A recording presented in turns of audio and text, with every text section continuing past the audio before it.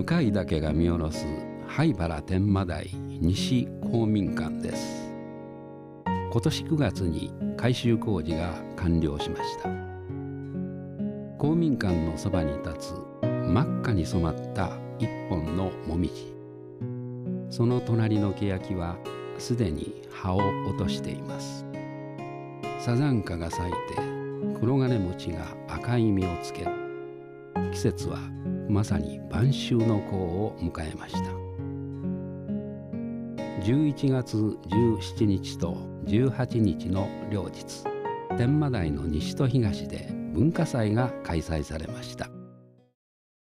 ここ西公民館の玄関口には大輪の菊の花が咲き競っています。そのそばに置かれたオブジェは3体のイルカです。前でそれを見ているのは灰原東幼稚園の園児たちです。遠足で行った三崎公園のイルカのショー。その時の楽しさがいっぱいに詰まった作品なのです。開会式を前に早くもハッピーが出てきました。午前10時公民館前で文化祭の開会式です。公民館館長と来賓の挨拶がありました。私今年あの完了させていただいてます橋本と申します、えー、本日はあ文化祭にあお集まりいただきまして誠にありがとうございます。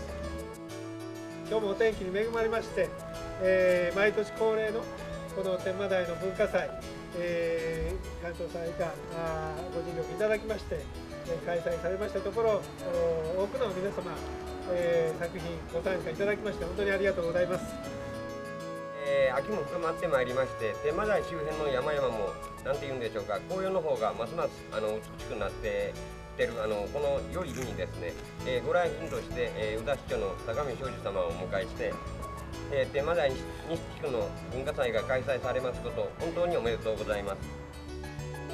挨拶が終わると文化祭がスタートです館内に入るとシマウマとキリンが歓迎してくれます。これも園児たちの思い出がよみがえる力作なんです。受付を経由して作品の展示会場に入っていきます。階段の踊り場に展示された書道の作品です。これに導かれて会場に上がると書の作品が部屋を取り囲んでいます。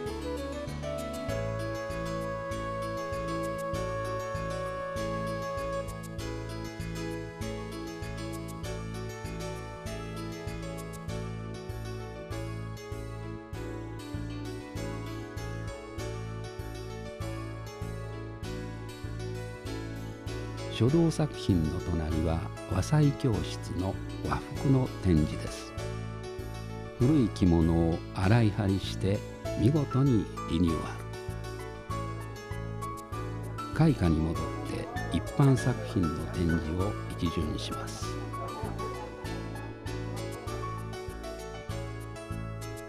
水彩画デッサン油絵のコーナーです。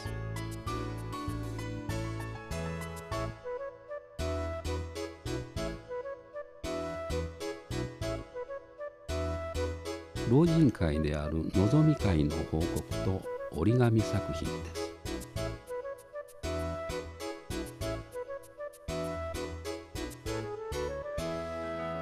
水引の手芸作品が出来栄えを競っています。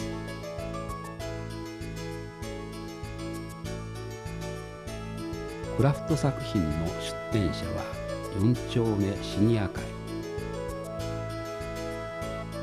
夢や思いが伝わってくる子どもたちの傑作です。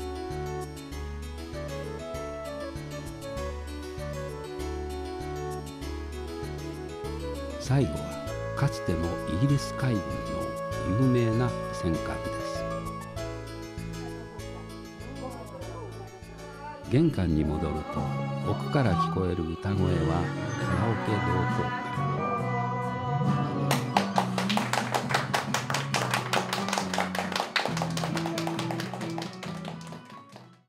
ところで館内や玄関口を飾るこの美しい菊の花。このような大菊の栽培には専門的な知識が必要です。この菊は近くにお住まいの門馬金秀さんが栽培し毎年公民館の文化祭に文字通り花を添えています。出品前門馬さんの車庫に勢ぞろいした大菊です。この道20年すべて独学で取り組んでこられました。舞台は変わって天満台東交流センターです。正午の開会式を前に多くの人たちが集まっています。ここでも館長と市長の挨拶で始まりました。早速ではございますが橋本館長より開会式の挨拶がございますのでご清聴よろしくお願いいたします、えー、私あの紹介されましたように天満台東交流センターの館長を務めさせていただいております橋本でございます、えー、本日のこの第35回天満台東文化祭の開会式にあたりですね言ご挨拶をしたいと思います。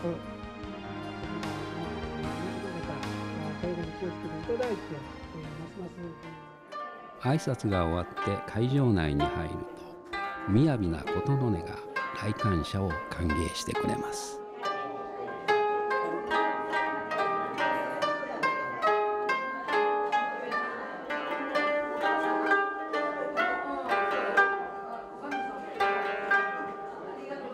琴の音にふさわしいお茶席も設けられています。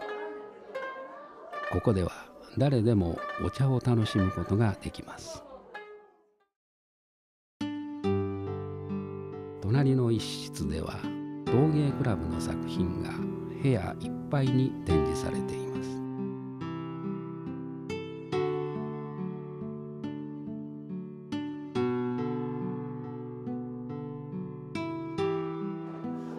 般作品の展示室には個人や団体作品のほかにその団体やサークルの活動も報告されています。場内を一巡します。世代間交流の会ワイワイクラブの報告と作品。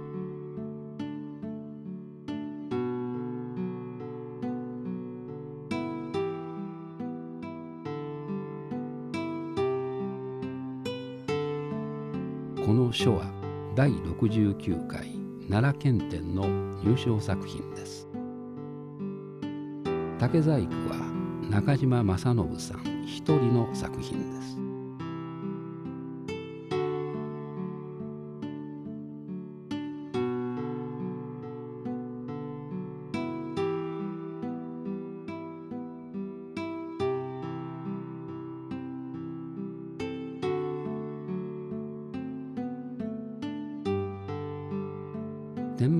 に住む魚類の調査報告が発表されています。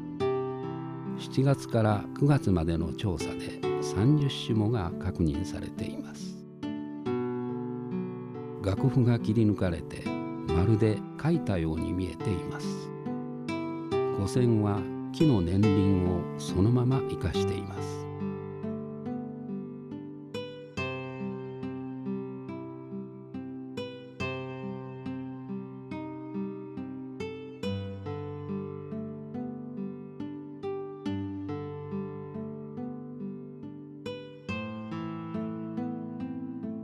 水彩画と油絵です。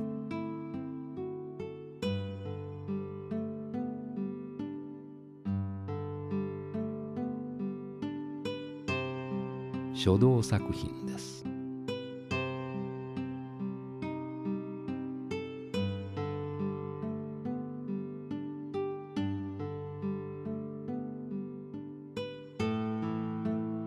子どもたちの作品もかけられています。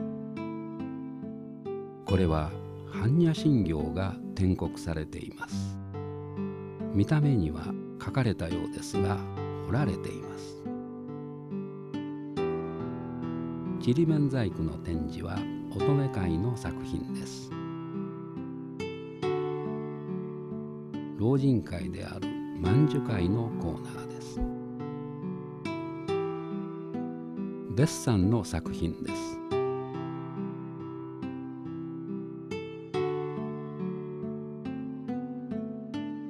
この2面の絵は今年の二課展デザイン部の入選作品です。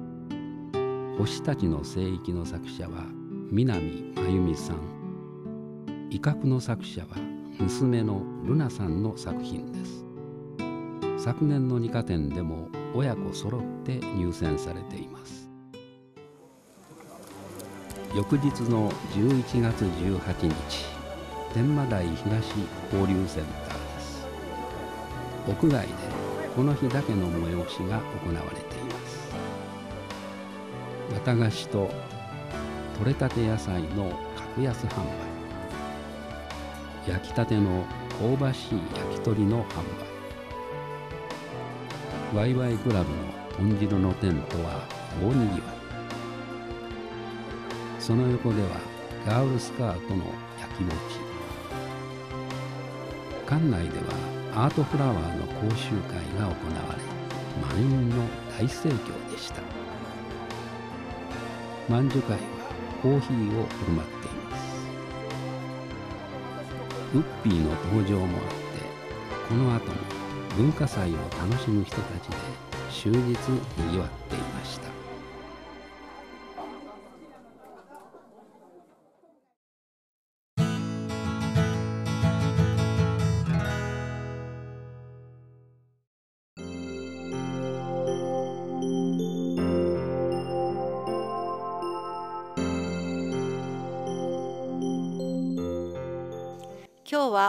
黒木にあります長禅寺のお堂の前にお邪魔しております、えーこちらの方で、えーこの大宇田の歴史につきましてずっと長い間研究しあの数冊の5本にまとめられました、えー山本正則先生にお越しをいただきましてちょっと面白いお話を今日はお聞かせいただこうと思っております。先生それじゃどうぞよろしくお願いいたします。こちらこそよろしくお願いします。あの宇田西国三十三所のこうあの忘れられた観音霊場っていうのをこういうタイトルをつけていただいてますので、いえーいろんなことをお勉強されてるわけなんですがそこのところちょっとお話しいただけますか？はい。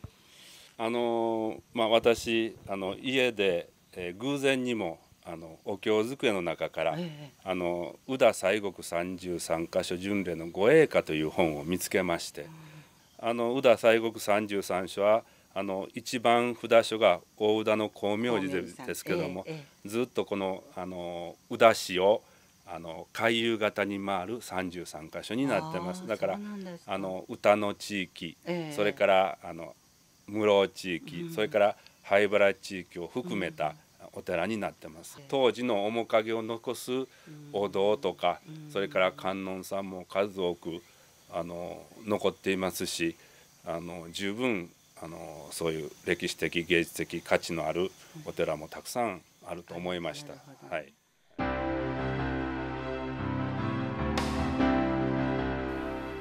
町の話題の取材で各地域のお寺を訪問させていただくことが多々ありますその時宇田西国三十三所御栄歌をよくお見かけしましたふとしたきっかけで宇田歴史誕生。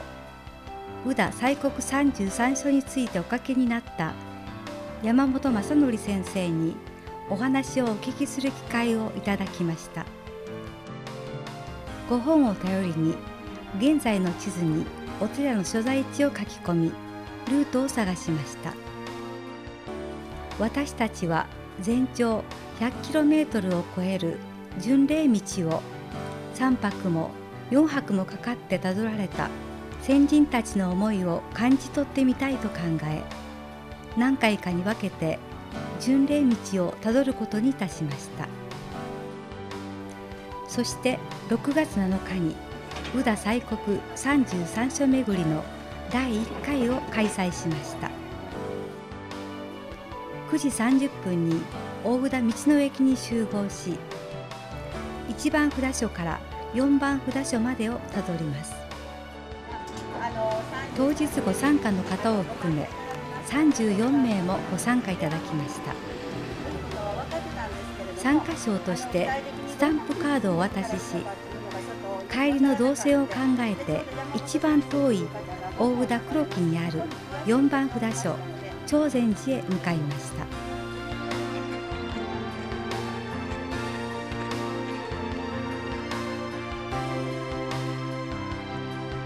のどかな田園風景が広がります。途中向岳大和富士の美しい姿を見ることができます。長禅寺に到着です。かつてはもっと大きなお寺だったのでしょうが今はこのお堂の中に十一面観音がひっそりと地域の方々により守られています。ご栄華黒きこる身にも願いの長禅寺。短く世には心とどめずかつての巡礼道が残されています。次の三倍札所大願寺へ向かいます。日頃は車で何気なく通っていますがこうして歩いてみると同じ風景が違って見えてきます。歩いてみるのもいいね。皆さんそうおっしゃっていました。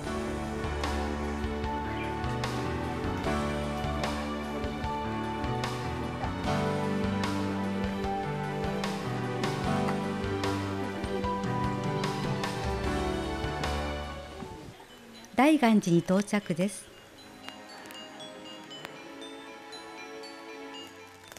本堂観音堂です。ご本尊は十一面観音様です。宇田松山藩二代織田高長公が祈祷所とされたため松山藩にとっては特別な寺院でした。ご栄華。後の世を助けたまえと大願寺仏の教えあるに任せて。本格的に降り出した雨の中二番札所慶恩寺に向かいます。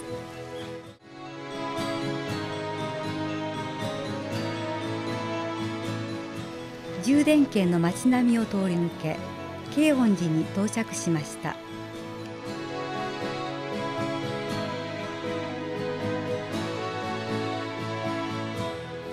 着をお待ちくださっていた白川ご住職が本堂を開けてくださり観音様についてお話しくださいました。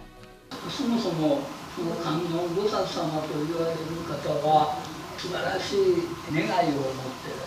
その願いはどういう願いかといえば33その願いを持っている。ここから33箇所と言われるようになったんだろうと思いますですね33のそう姿に、えー、なって私たちの私たちを救おうとしておってくださるお方であるということですね。観音菩薩様という方はそのような方であると知っていただいてお参りいただけたら思いがいくらか違うことになると思いますよ。とお話しくださいました。その後ご法話を胸に本堂にお祭りされている小観音様にお参りさせていただきました。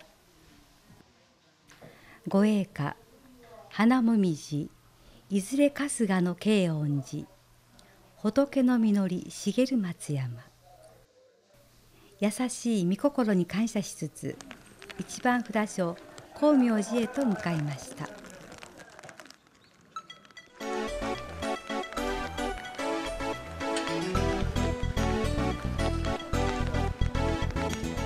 立派な鐘楼門をくぐり境内へ入ります。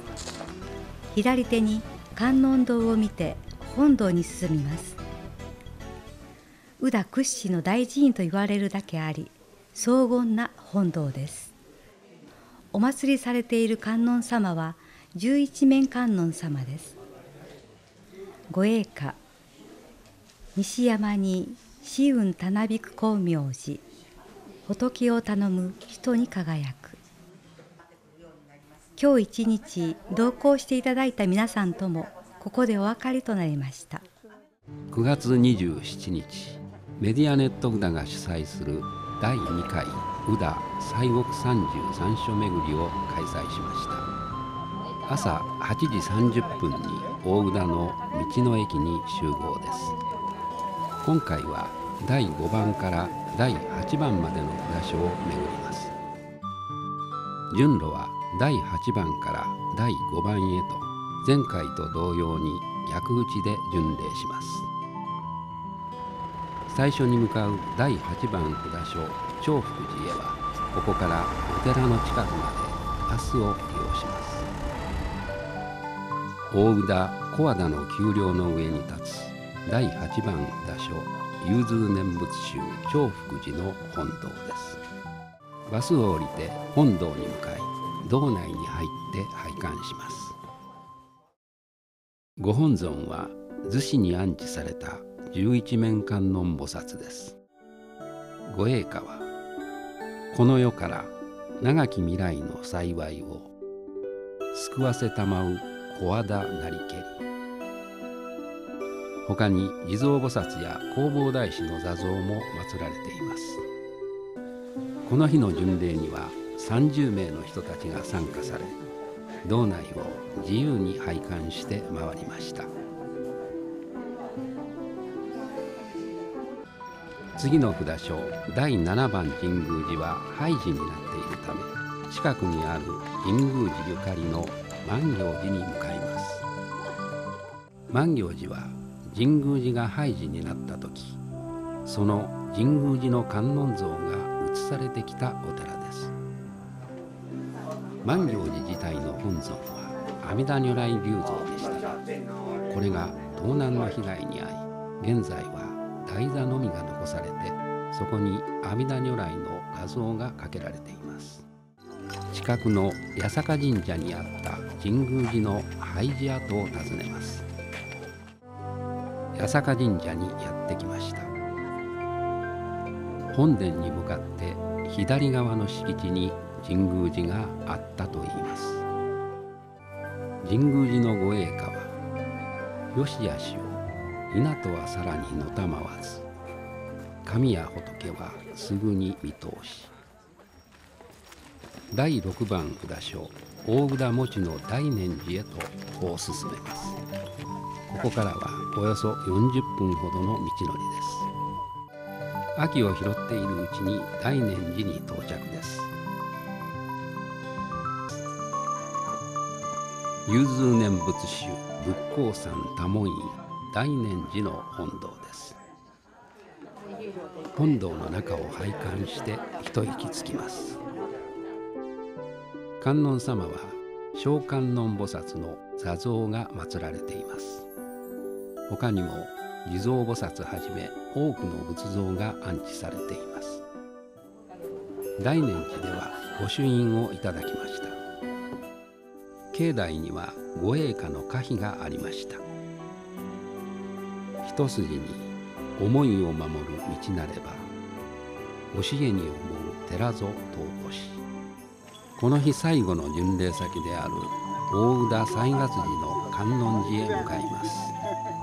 観音寺も廃仏希釈で廃寺となっていますが仏像やその他の遺物は廃寺跡に近い高大寺に観音堂を建てて祀られ今に継承されています。浄土真宗本願寺派高大寺にある観音堂に到着です。村上住職のお話です。あの北の方にね北森西月寺北森っていうところございましてねそこにもともとあの観音寺がございまして。観音堂の本尊は如意輪観音菩薩です。今もこの観音様の御前で年5回の法要が営まれていますご栄華は西月寺踏み迷わじとひたすらに誓いを守るまだも北森。北森の観音寺跡へ案内していただきました。急勾配の坂道を上がると廃寺跡がありました。これは法与上人の法教院塔です。この塔には商人の名が刻まれています。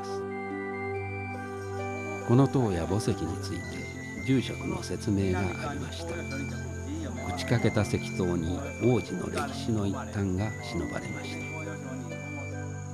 一息入れて元来た道を下山していきます。西月寺まで戻ってきました。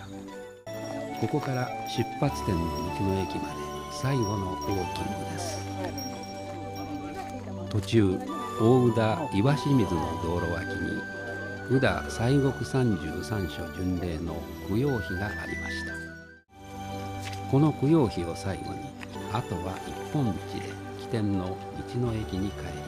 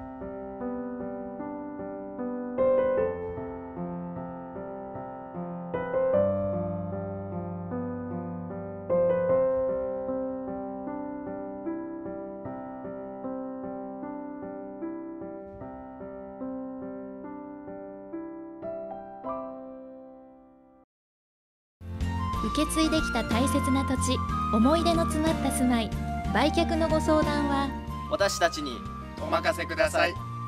適正な価格でご納得の査定を行います。秘密厳守安心してご相談ください。豊富な情報をもとにスピーディーでご満足いただける売却をサポートします。土地住まいの売却は灰原駅南口三和総合住宅販売へ。お気軽にご相談ください近鉄灰原駅前のみーちゃん寿司。店主こだわりの新鮮な素材を生かしお寿司はもちろん一品料理懐石料理などでお楽しみいただけます。各種のご宴会ご慶事ご法事など50名様まで承ります。宇田市内無料送迎させていただきます。詳しくはホームページまたはお電話で皆様のお越しを心よりお待ちしております。